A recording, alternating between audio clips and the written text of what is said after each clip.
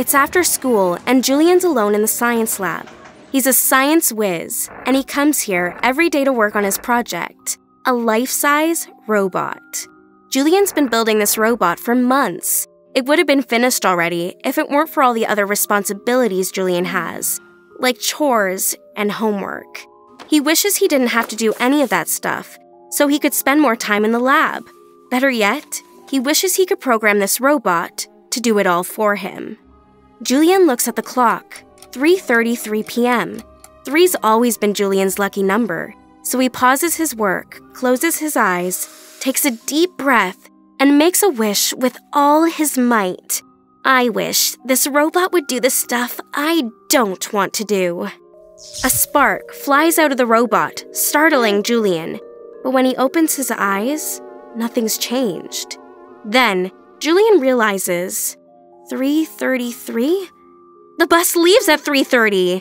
In a mad dash, Julian covers his robot with a tarp and goes, leaving his backpack behind by mistake. The next morning, Julian grabs his backpack from the lab. He wishes he could just stay here and keep working on his robot, but he has to get to class. When the teacher collects last night's homework, Julian freezes. He didn't do it. He didn't have his backpack after all. But when he opens it now, he finds a completed assignment. Julian hands it in, dumbfounded but relieved. Could it be? Did his wish come true? After school, Julian removes the tarp from his robot. Except it's not his robot. It's a person. A person who looks just like him. Julian screams.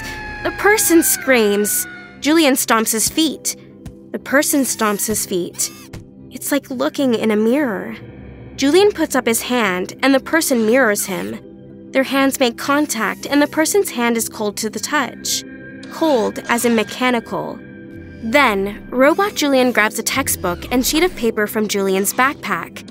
At lightning speed, it flips to the page assigned for tonight's homework and starts writing. Julian looks up at the clock. 3:28. He has to get to the bus. Julian thanks Robot Julian for doing his homework and dashes out. Again, leaving the robot alone in the science lab. Without homework to do, Julian stayed up late, goofing off, and slept through his alarm the next morning. He gets to school late and rushes to the lab to grab his backpack, and more importantly, the finished homework inside it.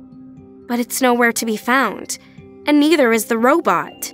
He sneaks in through the door at the back of the classroom, hoping the teacher won't notice he's late. But when he reaches his desk, Robot Julian is already sitting there. The teacher stares at the real Julian, confused. She mumbles something to Robot Julian about not knowing he had a twin brother, and could he please ask him to go back to his own classroom. Julian tries to convince the teacher that it's him. He's the real Julian. This is just a robot. But the more he argues, the crazier he sounds. I'm Julian, says Robot Julian in a human voice. The teacher threatens to call the principal, so Julian leaves. He waits outside the school for the rest of the day. From the window, he sees Robot Julian hanging out with his friends, carrying his backpack, using his locker. At 3:25, Julian tries to get on the bus, but Robot Julian is already there, sitting in his usual window seat.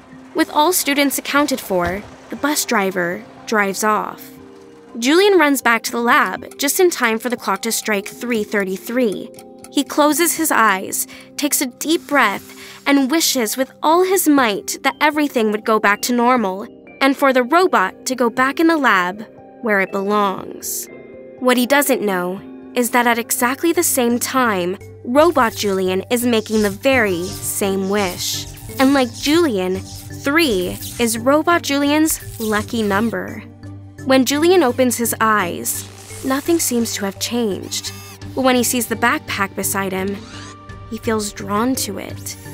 Mindlessly, almost mechanically, he unzips the backpack and takes out the homework inside. Without another thought, Julian begins rigorously working away, almost as if he was programmed to.